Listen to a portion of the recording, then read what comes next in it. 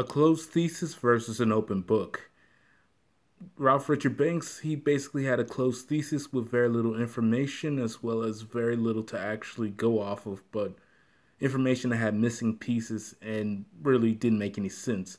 Whereas Kevin Samuels not only made a channel that is an open book, but he put it out in the public for everyone to see what exactly he was talking about and what he was doing.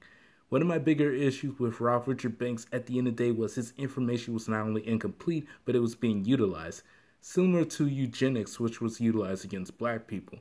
Now we see black women willing to utilize eugenics when necessary, and they don't like it when they're on the other side of it, because that's what this is really about.